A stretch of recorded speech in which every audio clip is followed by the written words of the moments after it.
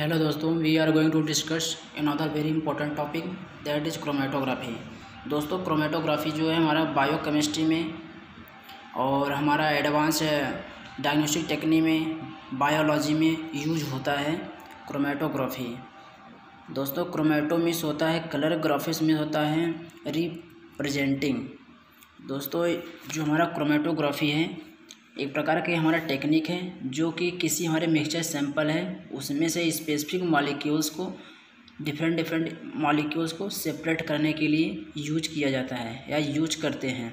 दोस्तों these molecules include जैसे हमारा प्रोटीन इन है अमीनो एसिड्स है लिपिड्स हैं कार्बोहाइड्रेट्स हैं और विटामिन हैं। दोस्तों these molecules can be separated by any of the following property उसके और प्रॉपर्टी के बेसिस पे हम इसे क्या करते हैं? सेपरेट करते हैं। मोलिकुलर साइज़ के बेस पे वेट के चार्ज के बेस पे एफिनिटी के बेस पे एब्जॉर्प्शन प्रॉपर्टी के बेस पे सॉलिबिलिटी के बेस पे। दोस्तों, अब हम समझते हैं प्रिंसिपल ऑफ़ क्रोमेटोग्राफी दोस्तों, जो क्रोमेटोग्राफी का प्रिंसिपल होता है टू इसमें दो फ़ेज़ यूज़ होते हैं सेपरेशन के लिए मोबाइल फ़ेज़ हो और स्टेशनरी फ़ेज़। दोस्तों, जो मोबाइल फ़ेज़ हमारा है, ये हमारा मूविंग फ़ेज़ भी बोलते हैं इसे। मोबाइल फ़ेज़ को मूविंग फ़ेज़ और स्टेशनरी फ़ेज़ को बोलते हैं फिक्स फ़ेज़। दोस्तों, जो मोबाइल फ़ेज़ है, ये हमारा लिक्विड होता है लिक्विड सॉल्वेंट होता है और हमारा स्टेशनरी फ़ेज़ हमारा जो है, वो सॉलिड होता है। दोस्तों, मोबाइल फ़ेज़ जो है, मोबाइल फ़ेज़ मोबाइल फ़ेज़ को हम सैंपल को मूविंग कराते हैं इस स्टेशनरी फ़ेज़ पर। मोबाइल फ़ेज़ के द्वारा हम कोई सैंपल है, उसे स्टेशनरी फ़ेज़ पे मूव कराते हैं बाई थोड़ा कैपिलरी एक्शन के द्वारा। दोस्तों, जो हमारे स्टेशनरी फ़ेज़ है, सॉलिड मैट्रिक्स है, जैसा मैंने आपको बता दिया कि सॉलिड होता है, जो कि एक जगह पे क्या होता है, फिक्स होता है। दीज इसमें हम क्या करते हैं स्टेशनरी फ़ेज़ पे हम सैंपल को सेपरेट करते हैं। दोस्तों, हमारा जो मोबाइल फ़ेज़ है और स्टेशनरी फ़ेज़ है, इसके बीच में इंट्रैक्शन होता है और हमारे जो सैंपल के मॉलिक्यूल्स हैं, वो क्या करेंगे, सेपरेट हो जाते हैं।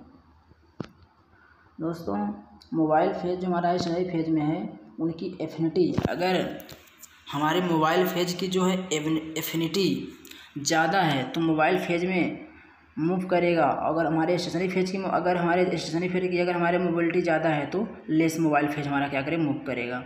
दोस्तों, अब क्लासिफिकेशन ऑफ़ क्रोमेटोग्राफी दोस्तों, जो हमारा क्रोमेटोग्राफी है थ्री टाइप में क्लासीफाई किया गया है।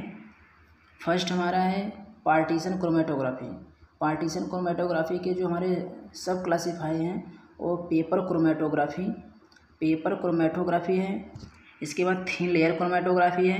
और गैस लिक्विड क्रोमेटोग्राफी है। Paper chromatography, thin layer chromatography और गैस लिक्विड क्रोमेटोग्राफी। ये पार्टीशन क्रोमेटोग्राफी को तीन टाइप में पहले डिवाइड किया गया है। Paper chromatography, thin layer chromatography और गैस लिक्विड क्रोमेटोग्राफी। अब दोस्तों, पेपर क्रोमेटोग्राफी जो है, उसे दो टाइप में डिवाइड किया गया है। Single dimension chromatography, double dimension chromatography. दोस्तों, फिर सिंगल डायमेंशन क्रोमेटोग्राफी जो है, उसको दो टाइप में डिवाइड किया गया है असेंडिंग क्रोमेटोग्राफी डिसेंडिंग क्रोमेटोग्राफी दोस्तों, अब सेकेंड देखते हैं, जो हमारा सेकेंड टाइप क्लासिफिकेशन है आयन एक्सचेंज क्रोमेटोग्राफी और जो थर्ड टाइप के हैं हाई परफॉर्मेंस लिक्विड क्रोमेटोग्राफी दोस्तों, इसको एच पी एल सी भी बोलते हैं। शॉर्ट फॉर्म में इसको एच पी एल सी के नाम से जानते हैं। हाई परफॉर्मेंस लिक्विड क्रोमेटोग्राफी दोस्तों अब हम समझ पार्टीशन क्रोमेटोग्राफी इस टाइप की क्रोमेटोग्राफी में अगर हमारा कोई मिक्सचर के मिक्सचर के हमारे सॉल्यूशन हैं, उसे हम सेपरेट करेंगे स्टेशनरी फ़ेज़ पर। Mobile mobile phase depending upon the affinity to each on of the phase stationary phase पे हम कोई हमारा सैंपल है, उसे हम डिफरेंट मॉलिक्यूल्स को सेपरेट करते हैं। इसमें आ गया पेपर क्रोमेटोग्राफी पेपर क्रोमेटोग्राफी जो हमारा सेपरेशन टेक्निक है, इसमें हम पेपर के थ्रू जो हमारे सैंपल के मॉलिक्यूल्स हैं, स्पेसिफिक डिफरेंट डिफरेंट हमारे कंपोनेंट हैं, उसे हम सेपरेट करते हैं पेपर पे। इसलिए हम पेपर क्रोमेटोग्राफी करते, कहते हैं क्योंकि इसमें हम पेपर का यूज़ करते हैं। दोस्तों, अब हम देखेंगे इसका प्रिंसिपल क्या है। दोस्तों, प्रिंसिपल में हमारे इसके जो कंपोनेंट्स होते हैं, पेपर, सॉलिड सॉल्यूशन और सैंपल। दोस्तों पेपर है, जिस पर हम सैंपल के कंपोनेंट को सेपरेट होते हैं। जिस जिस मतलब जिस जिस पर सैंपल के जो हमारे कंपोनेंट हो वो सेपरेट होते हैं, वो पेपर हो गया हमारा और सॉलिड सॉल्यूशन हो गया है, जिसकी हेल्प द्वारा हमें सेपरेट होता है, जिसके द्वारा हेल्प से सेपरेट हो रहा है, वो हमारा सॉलिड सॉल्यूशन हो गया। और सैंपल जिसको हमको सेपरेट करवाना है डिफरेंट डिफरेंट कंपोनेंट में, वो हमारा हो गया सैंपल। दोस्तों, इसमें हम ये कह सकते हैं जो पेपर होता है, ये पेपर हमारा स्टेशनरी फ़ेज़ है और सॉलिड सॉल्यूशन क्या हमारा है? मोबाइल फ़ेज़ है। मोबाइल फ़ेज़ जो हमारा होता है, लिक्विड होता है और पेपर जो हमारा है, सॉलिड होता है। दोस्तों, अब जो हम सैंपल के सैंपल के अकॉर्डिंग, सैंपल के अकॉर्डिंग डिफरेंट डिफरेंट टाइप्स के पेपर होते हैं चूज़ करते हैं हम और डिफरेंट डिफरेंट टाइप के हम बफर चूज़ करते हैं अकॉर्डिंग टू सैंपल किस टाइप का हमारा सैंपल है उस टाइप का हम पेपर यूज़ करेंगे और उसी टाइप का हम बफर यूज़ कर देंगे। जैसे कि हमारे जो आउटकम रिज़ल्ट आए हैं, वो प्रॉपर ही आए दोस्तों, अब पेपर क्रोमेटोग्राफी जो हमारा यूज़ करते हैं डिफरेंट डिफरेंट टाइप के पेपर जो होते हैं, वो हमारा सबसे सिंपल पेपर होता है। सिंपल पेपर में हम जैसे यूज़ करते हैं Whatman paper different different grade के होते हैं। उनका पोर साइज़ उनके डिफरेंट डिफरेंट होते हैं, उनके बेस पे उन्हें क्या क्लासीफाई किया गया है ग्रेडिंग के बेस पे। सिंपल पेपर में, जैसे वाटमैन पेपर होता है, उनके पोरिंग के बेस पे अलग अलग टाइप के होते हैं। दोस्तों, दूसरा जो हमारा पेपर है, वो हमारा मॉडिफाई पेपर है। जो हमारे सिंपल पेपर हैं, उसे ही मॉडिफाई किया गया है, जिसमें हमारे हाइड्रोफिलिक पेपर होते हैं, हाइड्रोफोबिक पेपर होते हैं। दोस्तों, जो हमारा अब हम देखेंगे कि पेपर क्रोमेटोग्राफी जो हमारा है पेपर क्रोमेटोग्राफी में इसमें जो हम स्टेशनरी फ़ेज़ प्रिपेयर कर रहे हैं उसे हम प्रिपेयर कैसे करते हैं? स्टेशनरी फ़ेज़ को दोस्तों प्रिपेयर करने के लिए सबसे पहले हम एक पे, पेज लेंगे का पेपर लेंगे पेपर ले करके उसमें हम वन सेंटीमीटर नीचे मार्किंग करेंगे पेंसिल से।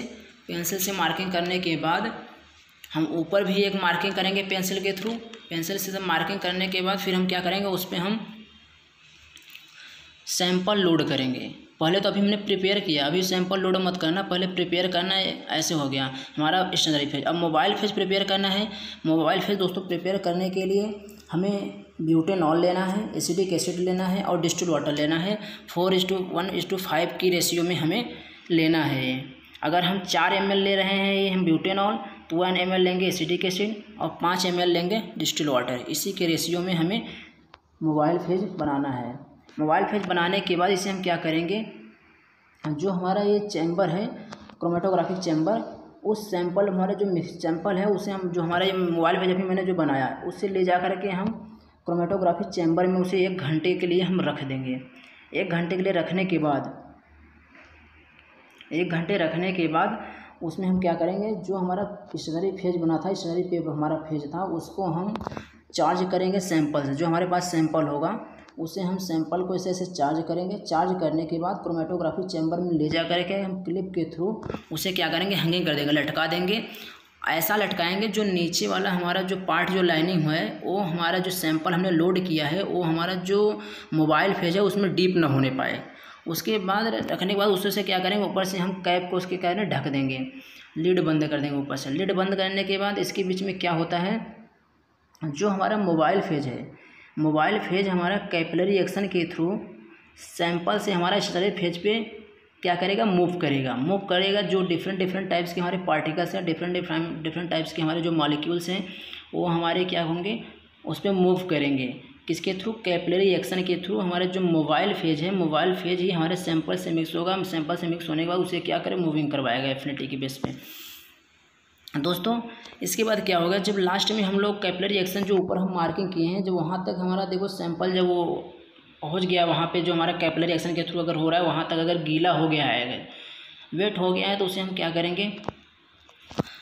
जो हमारा पेपर है, उसे हम पेपर को निकाल लेंगे बाहर बाहर निकालने के बाद उसे, इसके बाद हम रिटार्डेशन फैक्टर मेजर करेंगे रिटार्डेशन फैक्टर हम कैसे मेजर करते हैं, जो हमारा स्टेशनरी फ़ेज़ था, उसे हम बाहर निकाल लिया। बाहर निकाले जो हमारा पेपर था। पेपर निकालने के बाद उसे हम आर एफ़ वैल्यू उसके हमने को निकालना है। तो आर एफ़ वैल्यू निकालने के लिए उस पर हमारा जो सैंपल जितना मूव किया होगा स्पेसिफिक जो मालिक्यूल्स है, उसके सैंपल डिफरेंट डिफरेंट डिस्टेंस में मूव किए होंगे। जिस हमको मालिक्यूल्स का हमको निकालना है आर एफ़ फैक्टर उस सैंपल को मेजर करेंगे, जहाँ से हमारा सैंपल लोड किया था और जहाँ तक तो वो मूव किया है। उस सैंपल को हमने मेजर किया। मेजर करने के बाद, इसके बाद जो हमारा डिस्टेंस मूव बाय सॉल्वेंट है, इसके बाद जो हमारा सॉल्वेंट जहाँ तक मूव किया ऊपर तक, उसको हम मेजर करेंगे और इसके बाद डिवाइड कर देंगे। डिवाइड करने के बाद आर एफ़ वैल्यू निकल जाएगी। उस स्पेसिफिक मॉलिक्यूल्स की आर एफ़ वैल्यू निकलेगी। फिर अगर हमारे उसके साइड में, उसके बगल में हमारा जो है, उसकी वैल्यू अगर फिर निकालेंगे तो उसकी वैल्यू को मेजर करना पड़ेगा। और इसलिए मेजर करने के बाद फिर उसे ही पूरा जितना हमारा सॉलिड डिस्टेंस किया है, उसका फिर डिस्टेंस मेजर करके, फिर उसको हम डिवाइड करके हम उसकी वैल्यू निकालेंगे। डिफरेंट डिफरेंट टाइप्स के मालिक्यूल्स के डिफरेंट डिफरेंट उसके होते हैं। दोस्तों, फिर इसका जो हमारा आंसर आता है, उसका एक से ज़्यादा नहीं होना चाहिए। नेवर ग्रेटर देन वन एक से ज़्यादा इसकी वैल्यू नहीं होनी चाहिए। दोस्तों, फिर मेजर कर देंगे, हमारा वैल्यू इतना आ गया। दोस्तों, फिर इसमें क्या होता है? जो हमारा पेपर क्रोमेटोग्राफी है, इसे फिर क्लासीफाई किया गया है टू टाइप में। पहला सिंगल डायमेंशन पेपर क्रोमेटोग्राफी हो गया और दूसरा हो गया डबल डायमेंशन क्रोमेटोग्राफी दोस्तों, जो हमारा सिंगल डायमेंशन क्रोमेटोग्राफी है, जो सिंगल डायमेंशन हमारा क्रोमेटोग्राफी है, ये हमारा क्या होता है, जो हमारा सॉल्वेंट है, वो माइग्रेट करेगा सिर्फ़ एक ही डायरेक्शन में। जो इसको बोलते हैं हम सिंगल डायमेंशन क्रोमेटोग्राफी जो हमारा इसे हम अपवर्ड में ही, जो एक डायरेक्शन में अपवर्ड की साइड में अगर मूव कर रहा है, उसे हम असेंडिंग क्रोमेटोग्राफी बोलते हैं and migrate to downward known as descending और नीचे की तरफ़ अगर हमारा मूव कर रहा है, उसे हम बोलेंगे डिसेंडिंग क्रोमेटोग्राफी दोस्तों, जैसे स्ट्रक्चर में ये देख लो, ये हमारा हो गया असेंडिंग क्रोमेटोग्राफी ये हमारा आगे हो गया डिसेंडिंग क्रोमेटोग्राफी लेकिन दोस्तों, जो आपने अभी पेपर क्रोमेटोग्राफी पढ़ रहे हो, वो सिंगल डायमेंशन पेपर क्रोमेटोग्राफी है। उसका एग्ज़ाम्पल यही है। लेकिन दोस्तों, जो हमारा असेंडिंग क्रोमेटोग्राफी है, इसका एग्ज़ाम्पल ये हमारा ये डायग्राम हो गया और जो हमारा डिसेंडिंग क्रोमेटोग्राफी है, इसका डायग्राम ये हो गया। तो इसको, दोस्तों, इसके अलावा अदर टाइप्स के भी हमारे होते हैं जो होते हैं जो हमारे इसके डिफरेंट डिफरेंट टाइप्स के हमारे जो होते हैं। इसमें हमारा जैसे हो गया असेंडिंग डिसेंडिंग क्रोमेटोग्राफी जो हमारे दोनों टाइप से, दोनों साइड से हमारा क्रोमेटोग्राफी जो हमारा अपवर्ड भी डायरेक्शन में अपवर्ड जाए, फिर वहाँ से डाउनवर्ड जाए। एग्जांपल में देख लो, ये हमारा जैसे हो गया असेंडिंग डिसेंडिंग क्रोमेटोग्राफी हो गया। एक साइड से गया, फिर वहाँ से फिर मूव करके नीचे आया। अब दोस्तों, फिर हमारा हो गया जैसे रेडियल क्रोमेटोग्राफी हो गया। रेडियल क्रोमेटोग्राफी क्या होता है? मैंने डिस्क लाइक एक मैंने ले लिया एक पेपर पेपर लेने के बाद उसको मैंने बीच में सैंपल लोड किया सेंटर में। सैंपल लोड करने के बाद बैटरी डिस्क में पैटी डिस्क में मैंने रख दिया। पैटी डिस्क में रखने के बाद पैटी डिस्क में हमारा क्या है? मोबाइल फ़ेज़ है। मोबाइल फ़ेज़ है। उसके बाद बैटरी डिस्क में बिग की वजह से बिग की हेल्प से क्या करेगा? वो सैंपल से हमारे सैंपल को मूव करेगा। अराउंड तरफ़, चारों तरफ़ हमारा अराउंड करेगा उसे। चारों तरफ़ हमारा क्या करेगा उसे? मूव कराएगा कैपिटल रिएक्शन के थ्रू मूव कराएगा, उसके बाद हम क्या करेंगे? उसे निकाल करके उसका भी मेजर हम करेंगे, जैसे उसका कर रहे थे। दोस्तों दोस्तों, अब एप्लीकेशन देखेंगे। पेपर क्रोमेटोग्राफी का एप्लीकेशन क्या है? फ़र्स्ट जो separation of mixtures of drug drugs के मिक्सचर को सेपरेट करने के लिए। Separation of carbohydrate vitamin antibody antibiotics protein E identification of drugs drugs का आइडेंटिफिकेशन करने के लिए। Identification of impurities analysis of metabolite metabolites of drugs in blood और यूरिन में। एडवांटेज क्या है पेपर क्रोमेटोग्राफी का? सिंपल होता है रैपिड जल्दी हो जाता है इनएक्सपेंसिव है एक्सीलेंट है रिवॉल्यूसिंग पावर भी है एक्सीलेंट रिवॉल्यूसिंग पावर भी है। आई होप आप लोगों को समझ में आया होगा। अगर न समझ में आया होगा तो आप लोग कमेंट करके पूछना। आपको बता दिया जाएगा सब पूरा सहायता किया जाएगा दोस्तों। प्लीज़ चैनल को सब्सक्राइब कर देना दोस्तों। कमेंट भी करना लाइक भी करना और शेयर भी करना। थैंक यू दोस्तों।